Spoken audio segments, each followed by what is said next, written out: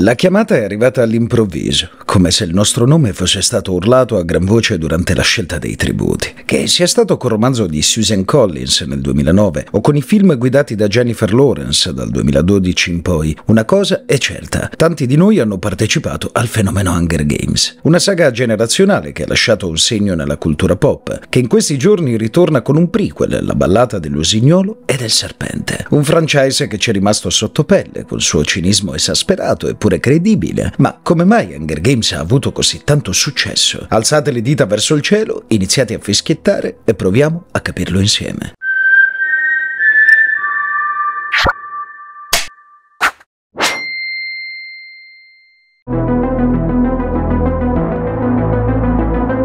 Tra le saghe di genere young adult che hanno spopolato dieci anni fa, Hunger Games è forse quella più iconica e anche la più riuscita, merito di un'idea che per quanto non particolarmente innovativa, non serve ricordare quanto la saga di Hunger Games ricordi le premesse e il personaggio di Battle Royale, vero caposaldo della letteratura e del cinema giapponese, è riuscita a colpire in maniera perfetta il sentimento comune adolescenziale di quegli anni. Hunger Games è prima di tutto una storia di sopravvivenza. Lo è nella dimensione più ludica, quella dei giochi che anno dopo anno obbligano 24 giovani tra i 12 e i 18 anni a uccidersi tra loro in un'arena, fino a proclamare un vincitore, il solo superstite. Ma lo è anche per tutti i poveri cittadini di Panem, la nazione immaginaria la cui capitale è Capital City, che non possono far altro che rispettare silenziosamente il destino a loro riservato dal presidente Snow. E infine, è una storia di sopravvivenza per la stessa Capital City, che col terrore e la propria ricchezza si erge in cima alla piramide e deve fare di tutto per evitare la sua caduta. In questo mondo di fragili e violenti equilibri, Susan Collins ha reso Hunger Games una saga in cui la morte è onnipresente, senza censure, senza il desiderio di renderle un semplice espediente narrativo. L'ansia e la paura di morire caratterizzano l'universo di Hunger Games, con il risultato di rendere la saga più matura del previsto per il pubblico a cui si rivolge. Una necessità di sicuro, ma anche un atto di fiducia comunicativo tra l'autrice e i suoi lettori, come a ridare dignità agli adolescenti, anche se soffocati da un mondo adulto a loro incomprensibile, a cui non possono far altro che resistere, il più delle volte in maniera silenziosa. Adolescenti che sono semplici pedine di un gioco a cui non vogliono partecipare, personaggi di un reality show violento e non persone con una propria dignità. La distopia è quella di un regime totalitario, di una nazione immaginaria, ma il fondo di realtà rimane. Hunger Games è riuscito a dialogare con gli adolescenti con una schiettezza sconcertante, ridando loro vita in un mondo che gliela divora.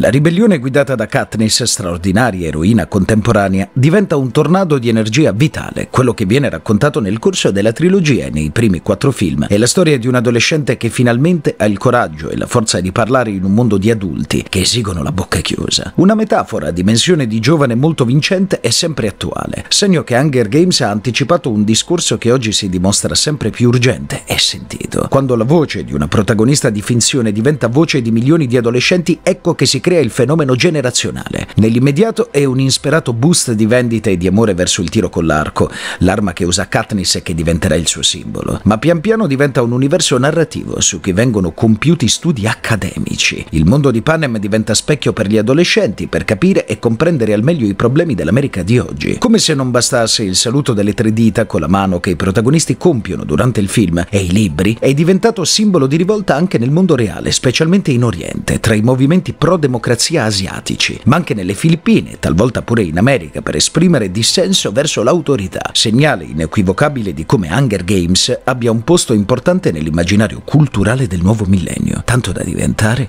voce politica. Come ogni storia capace di colpire un pubblico vastissimo, anche in Hunger Games è presente una storia d'amore, con il classico triangolo sentimentale che forse soprattutto nei film della quadrilogia è l'unico elemento gestito non nel migliore dei modi. Eppure questa presenza così forte del sentimento d'amore si dimostra ancora una volta essenziale ai fini della narrazione, come fosse l'unica ancora di salvezza nei confronti della morte, della violenza e del silenzio. Come se fosse l'obiettivo finale di ogni azione compiuta, si vive per amore e si ama per vivere. Non è un caso che la la trilogia originale, i quattro film che l'hanno adattata, si concludano con un balzo in avanti di 15 anni, dove Katniss e Pita finalmente sono riusciti a vivere come meglio desideravano. E non è un caso che la ballata dell'usignolo e del serpente, prequel che racconta come Snow è diventato presidente di Capitol City, abbia una storia d'amore come perno centrale delle vicende. Al di là dell'epilogo, che può essere positivo o negativo, la sensibilità nei riguardi di questo sentimento aggiunge un ulteriore tassello all'importanza della saga, perché l'amore diventa comprensione, ma può diventare anche motore del male. Quasi fosse un altro modo di chiamare la fortuna, quella che nel mondo antico descriveva sia la buona che la cattiva sorte. Nessuno ne è esente, anche se a prima vista potrebbe non sembrare così, e la scelta di usare come protagonista Snow per il prequel dona una nuova essenziale luce alla saga. In Hunger Games c'è chi ama e chiama troppo, e quel troppo può rovesciare la medaglia. Un discorso che anche in questo caso sembra essere più contemporaneo e stimolante da affrontare, basti vedere il finale dell'attacco dei giganti, che rende Hunger Games un evergreen incapace di risultare fuori dal tempo, perché non si può fare a meno di amare, soprattutto in un mondo distopico che sembra non appartenerci, costi quel che costi. Allora, Ancora una volta felici Hunger Games e possa la fortuna essere sempre a vostro favore. E voi siete d'accordo con la nostra analisi? Secondo voi qual è il segreto del successo di Hunger Games? Fatecelo sapere nei commenti, noi ci risentiamo presto, sempre qui sugli schermi di Screamworld.